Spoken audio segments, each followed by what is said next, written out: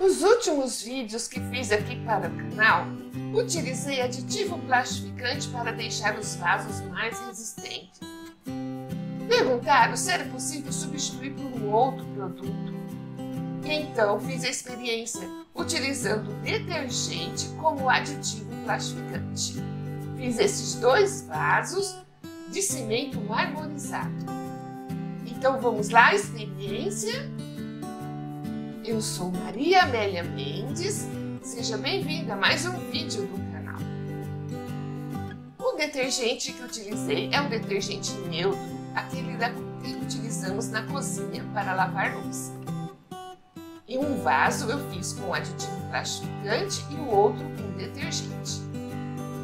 Para a massa de cimento, utilizei uma medida de cimento e três medidas de argamassa AC3, argamassa piso sobre piso. Usei esta concha como medida e coloquei num copo medidor para saber a quantidade de cimento utilizada. Mas marque aí sua presença. Deixe o seu like neste vídeo se você não é inscrito no canal, inscreva-se e clique no sino para receber todas as notificações de vídeos aqui publicados. Pelo copo medidor, utilizei 500 ml de cimento. Então eu posso utilizar no máximo 250 ml de água. É sempre a metade da medida de água.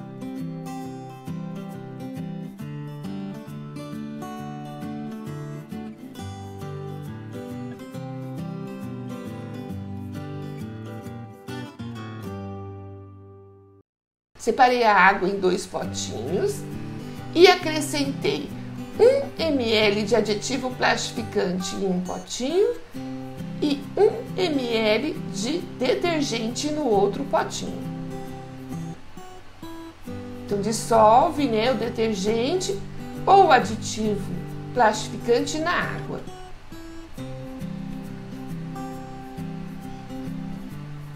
Quantidade de detergente que você irá utilizar é a mesma quantidade de aditivo plastificante.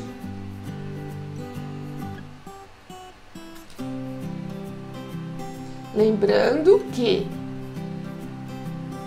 você vai usar 4 ml de aditivo plastificante para cada litro de água.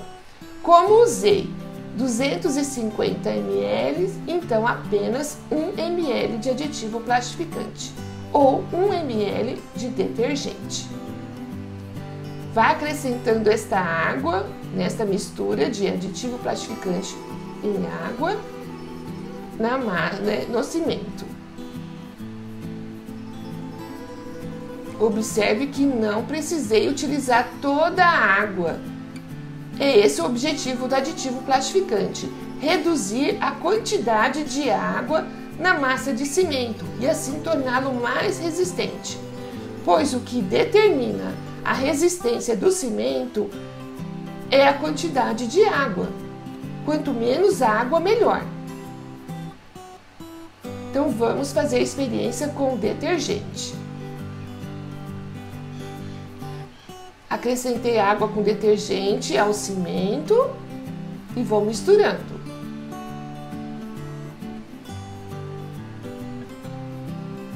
Nunca coloque toda essa água, pois essa é a quantidade máxima. Então, se conseguirmos diminuir a água, melhor.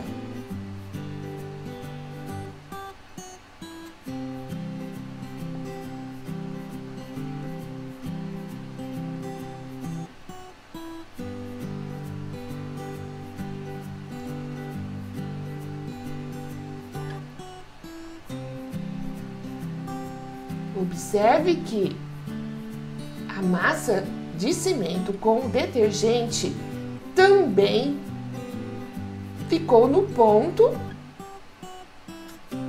acrescentando menos água. Já deu ponto e ainda sobrou água lá no potinho. Então, em relação à quantidade de água, a experiência deu certo, conseguimos reduzir a quantidade de água. Sobrou a mesma quantidade de água do potinho com aditivo plastificante. E olha que massa bonita, bem fluida.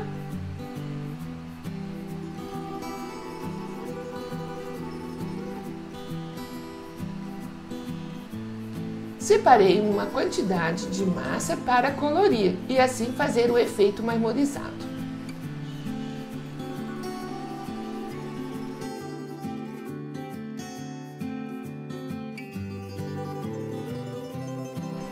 A massa com aditivo plastificante acrescentei corante vermelho. E a massa que eu fiz com detergente, adicionei corante verde.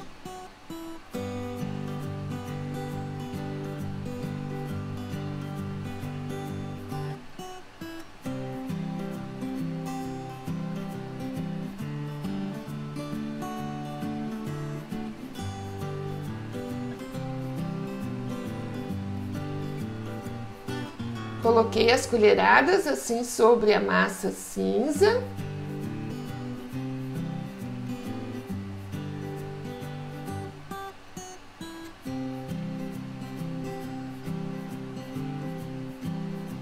Fiz o mesmo com a massa vermelha e preparei os molde e contramolde, passando óleo de cozinha para que o cimento não grude no molde. Fiz uma marcação até onde o contramolde pode entrar dentro da massa de cimento.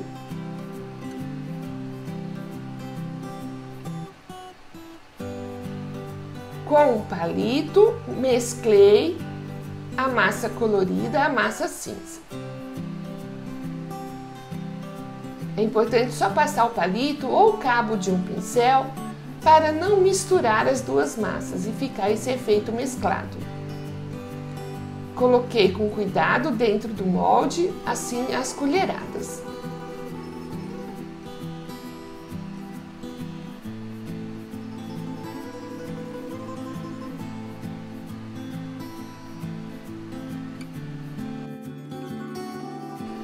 Dei batidinhas para retirar as bolhas de ar. Fiz o mesmo com o vaso mesclado de vermelho.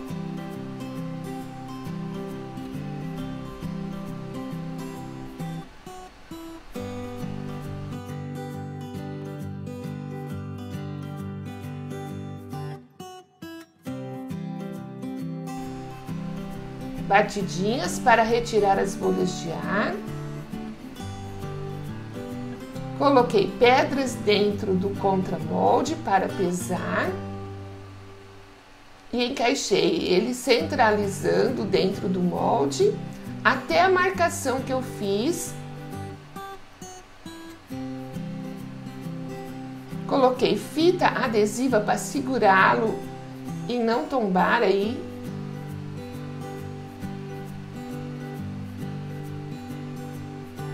Após três dias, então retirei do molde. Então é importante aguardar a cura do cimento, deixá-los curar aí dentro do molde para depois retirá-los.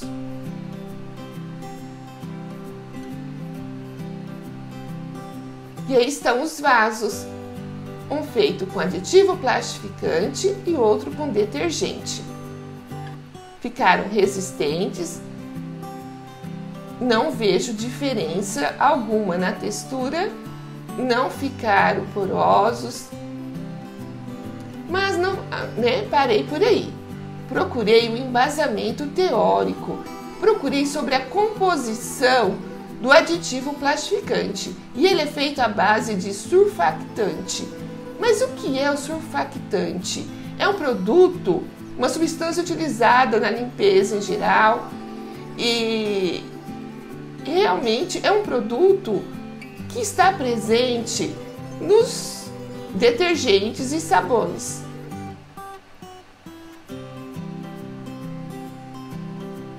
Não parei por aí. Procurei pesquisas científicas que comprovassem o uso do detergente para substituir o aditivo plastificante industrializado.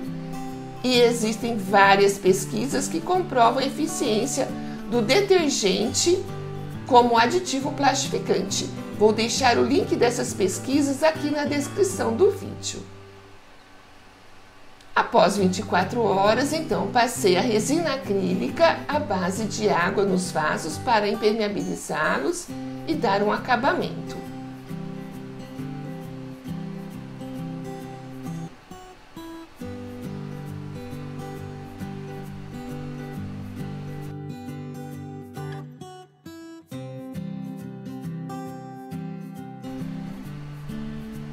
Qualquer caminho que você decida tomar, existe sempre alguém para te dizer que você está errado.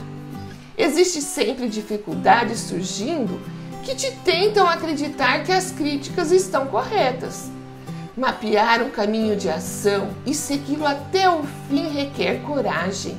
Portanto, ouse, experimente e busque caminhos diferentes.